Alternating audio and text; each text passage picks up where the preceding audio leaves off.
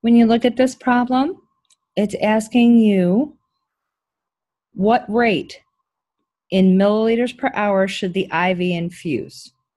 Okay, so this part here, you've got 25 milliequivalents of potassium added to 1,000 mLs.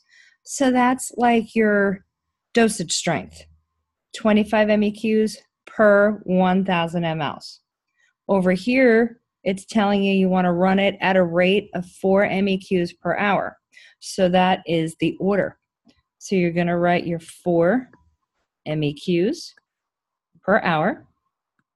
Then over here, you're going to multiply that by 25 MEQs goes on the bottom because remember they want to be opposite each other.